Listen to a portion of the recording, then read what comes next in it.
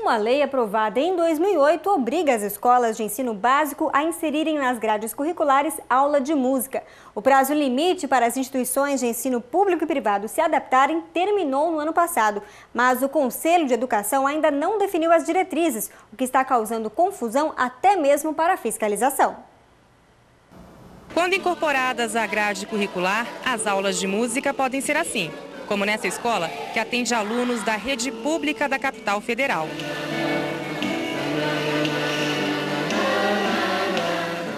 Até se familiarizarem com os instrumentos, os alunos têm alguma dificuldade, mas acabam seduzidos pela melodia. Agora, quando eu vi que é legal tocar, aí agora estou super animado para tocar música. E os benefícios da música vão muito além do que os olhos e os ouvidos podem perceber. Essas facilidades que ela, que ela tem na música, que ela vai desenvolver na música, ela vai ter para desenvolver também nas outras disciplinas, por exemplo, na matemática, a questão da, da, da, atenção também, da concentração, em português, nas outras matérias em geral. Né? Estudantes de todo o país deveriam estar tendo acesso a esses benefícios. Uma lei aprovada em 2008 determina que instituições de ensino infantil, fundamental e médio ofereçam música como conteúdo obrigatório.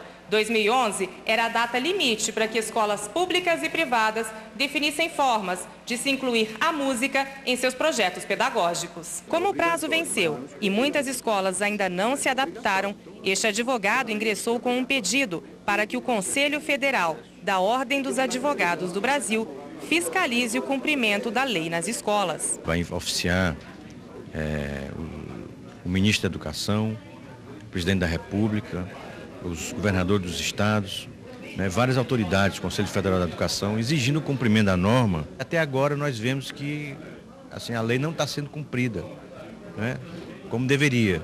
Né? Aí falam, ah, se tem professor, não tem professor, se tem dinheiro, se não tem dinheiro. Houve três anos de prazo é, para que todos se preparassem.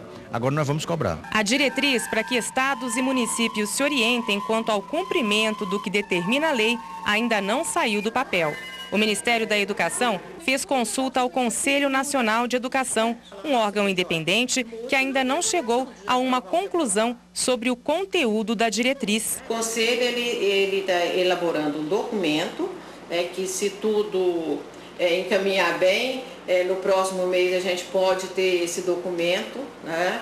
E o Conselho está fazendo o quê? Ele está estabelecendo, a partir das suas diretrizes gerais para a educação básica, qual a importância da música não apenas como um instrumento motivador na escola. Procurado pela reportagem, o Ministério da Educação respondeu, por e-mail, que não pode cobrar das escolas a obrigatoriedade do ensino da música, porque estaria ferindo a autonomia delas e dos sistemas de ensino.